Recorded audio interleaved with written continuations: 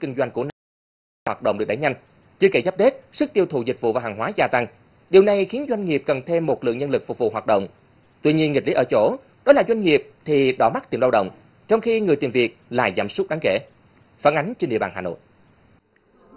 Cần tuyển nhân viên kỹ thuật, cần tuyển lao động phổ thông, nhân viên giao hàng, nhân viên phục vụ bếp. Mặc dù tính chất công việc đơn giản mức lương khá, nhưng khác với mọi năm, số lao động tham gia tuyển dụng tại các phiên giao dịch việc làm cuối năm lại giảm khá nhiều. Tình trạng doanh nghiệp ngồi chơi cho người lao động đến tìm việc diễn ra khá phổ biến. Giờ thì từ sáng giờ tôi ngồi thì cũng chỉ có thấy có một người vào để à, phỏng vấn thôi.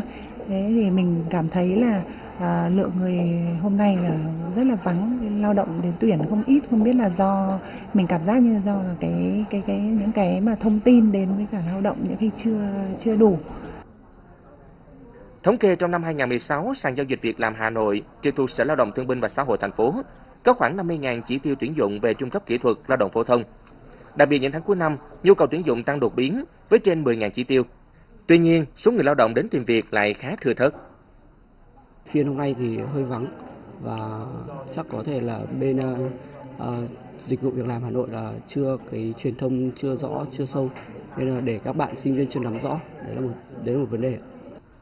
So với năm 2015, lực lượng lao động tham gia tuyển dụng của cả năm 2016 giảm đến 30%. Theo các chuyên gia, nguyên nhân chính là nhiều lao động đang thiếu đi những kỹ năng tìm việc cơ bản. Chưa kể nguyên nhân chính đến từ việc không ít lao động có tâm lý nghỉ ngơi chờ sau Tết mới đi tìm việc. Do Tết thì mình ờ, tìm công việc không phù hợp vì bây giờ gấp gáp thì mình việc tìm thì nó hơi gấp thì khó tìm công việc phù hợp với mình. Với ờ, cái nhu cầu áp lực cuối năm à, một là các cái doanh nghiệp phải hoàn thành kế hoạch à, đề ra trong năm 2016 và cũng phần lớn là các cái hoạt động cuối năm này phục vụ cho các cái Tết à, nguyên đán. Nên là việc mà các doanh nghiệp nhu cầu tuyển dụng tăng cao là rất là, là, là rõ.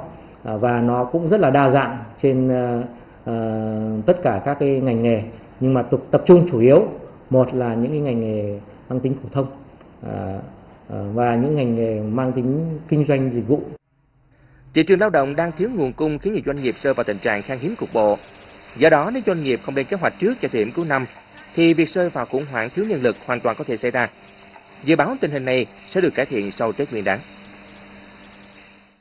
Với nhiều lý do khác nhau nên tòa án chưa có kết luận cụ thể để đưa ra bản án dành cho các bị cáo. Vì vậy, tại phiên xét xử phúc thẩm này, dựa trên nhiều chứng cứ, tài liệu và những hành vi phạm tội của các bị cáo, Tòa án Nhân dân tỉnh Lâm Đồng đã quyết định tuyên phạt Nguyễn Văn Tuấn 12 năm tù giam, Phạm Xuân Phương 9 năm tù giam